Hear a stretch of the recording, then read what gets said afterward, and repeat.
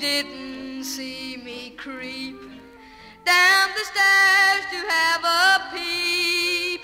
She thought that I was tucked up in my bedroom fast asleep. Then I saw Mommy